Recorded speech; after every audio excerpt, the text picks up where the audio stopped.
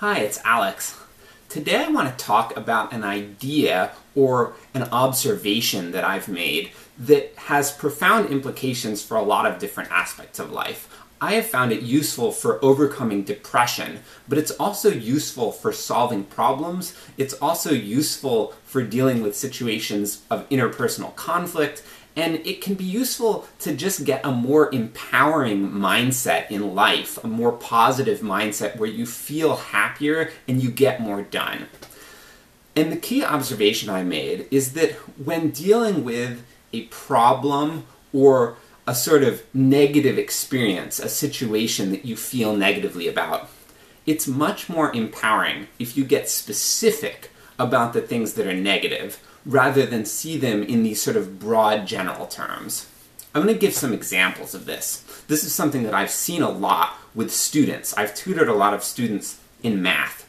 One thing that I see is a lot of students will say, I suck at math, I'm bad at math, I'm not good at math. Like they'll be working on a problem and in many cases they'll be going through an assignment and like they do one one thing after another and then they get stuck on one and then they're like, "Oh man, I suck at math" or something like that. And in reality, when I'm looking like from the outside, they're just having a hard time on this one problem. I'm someone who has a master's degree in applied math and I have a master's degree in statistics. So I've done a tremendous amount of very difficult math at the graduate level.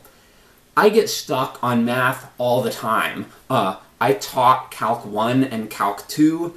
I've studied things way beyond that, and I still get stuck on problems at that level. I sometimes get stuck on basic algebra problems sometimes. Sometimes things are just tricky, and I'm not necessarily like a super genius at math part of the reason that I've done so well at math is that I believe that I'm good at it, so I'm able to sort of persevere. So a lot of it is this sort of approach. If you think about the experience you're having in the moment in a more specific way, it'll be more empowering. So I find often when I tutor kids, I don't actually need to teach them any math at all. It's more like a psychology thing and sort of like coaching. Like if I'm like, hey, um, so what are you having trouble with with this one problem? And I start asking them questions to get them thinking and focusing in a more specific way. I found in most of the cases, people actually work through the problem on their own. And I think that's really awesome, but I think that it sort of has this deep life lesson in there. I want to give another example from something really difficult, and this is something that has come up with me uh, when I was struggling with depression but I also see other people voice this thing a lot.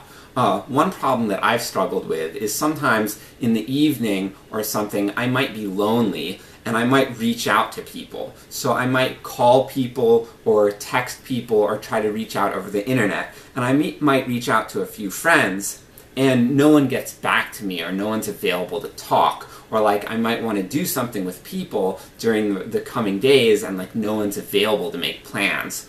Uh, and I start feeling really bad.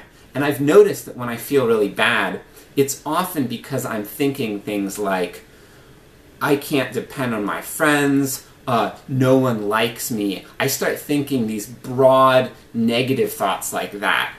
And they won't necessarily be true. Like, a lot of people out there like me. I know that because people have told me that and people have shown me that through their actions. But I think sometimes when I have these experiences of like a few things don't turn out how I want, if I'm in a kind of depressed mindset, I can like overgeneralize them. So for me, getting out of that depression, uh, one of the ways that I can do that is to focus on specifics. Like if I can focus on, hey, I've called this person and I've texted this person and they haven't gotten back to me and I feel sad and a little bit lonely.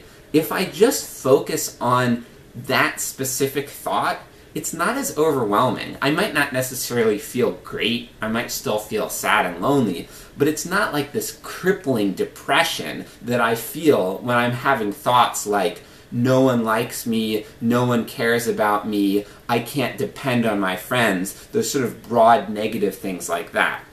So, this idea of when there's a problem, when we feel frustrated, when we feel stuck, when we feel sad, uh, when we feel anything that's bad, if we can narrow the scope, if we can focus on specifics, that can be really empowering. So I hope that you found this useful. I hope that you'll be able to put this idea to use in your life. Uh, I would love to hear from you. If you have comments, I would love to hear examples. If you have other examples that you want to share. Uh, and as usual, I always love when people subscribe or share my videos. Thank you.